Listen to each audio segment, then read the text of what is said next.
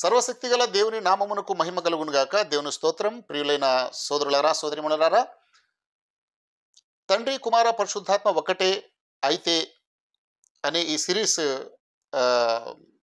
నడుస్తుంది. అందులో నాలుగవ భాగం నేను ఈ ముందు మాట్లాడుతున్నాను. యోహాను సువార్త ఆరో అధ్యాయము యాభై ఏడవ వచనంలో జీవము గల తండ్రి నన్ను పంపెను. గనుక నేను తండ్రి మూలముగా జీవించుచున్నట్టే నన్ను తినువాడును నా మూలముగా జీవించును అని యేసు ప్రకటిస్తున్నారు.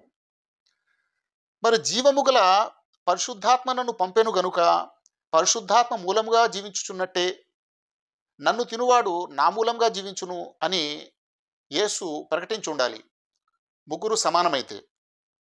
అలాగే యహోవాయే పరిశుద్ధాత్మ అయి ఉంటే తండ్రి నన్ను పంపెను అని కాక పరిశుద్ధాత్మ నన్ను పంపెను అని యేసు ఒక్కసారైనా చెప్పి ఉండాలి. కానీ అలాంటి వాక్యం ఎక్కడ కూడా బైబిల్ గ్రంథంలో లేదు.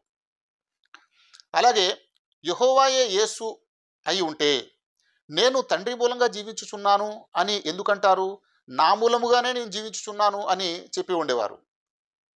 పోని యహోవా ఎప్పుడైనా సరే నేను పరిశుద్ధాత్మ మూలంగా జీవించుచున్నాను అని చెప్పాడా? లేక యేసు మూలంగా జీవించుచున్నానని చెప్పాడా? అంటే ఎక్కడ కూడా అలా చెప్పలేదు. కనుక ప్రియులారా తండ్రి కుమార పరిశుద్ధాత్మ ఒక్కటి కాదని చాలా స్పష్టంగా అర్థమవుతుంది. ఈ సత్యాన్ని గుర్తించే జ్ఞానాన్ని ప్రసాదించాలని ప్రభోయిన యేస్సు ద్వారా నేను పరమ తండ్రిని వేడుకునుచున్నాను. ఆమెన్.